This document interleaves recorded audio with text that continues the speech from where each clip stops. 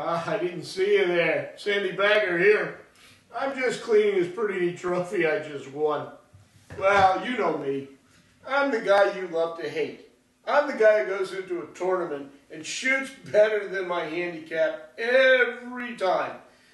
I'm the guy who goes and shoots a career round on you, steals that trophy right out from underneath you. I know how to keep my handicap up.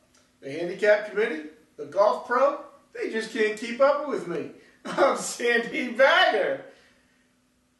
You know, when I got home, I'm cleaning my clubs and I'm cleaning my bag out, and I find this in it. Sandbagger from Sandbagger Anonymous. It says I'm a sandbagger. Can you believe that? Somebody struck back. Somebody says I'm a sandbagger. Well, since they're on to me and they can strike back, gotta be careful. Why don't you do this for your friends and foes and anonymously send them a sandbag and put one in their golf bag? Oh, I gotta go. Someone sent a limo for me. It's waiting out front. Sandy Bagger out.